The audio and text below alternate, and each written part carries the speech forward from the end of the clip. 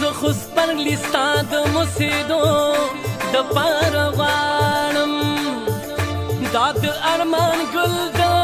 رچېدو دپاره غواړم بیا به هم پتري سایل په خپل ټوټې ټوټې کچ کو خیر د پښتنو نه او د پښتو د پاره